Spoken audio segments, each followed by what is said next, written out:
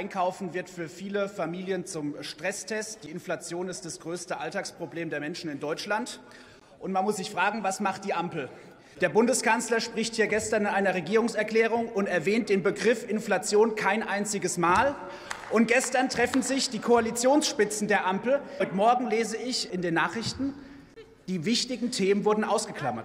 Das Thema Inflation haben Sie nicht besprochen. Sie haben keine Beschlüsse gefasst, und so geht es nicht.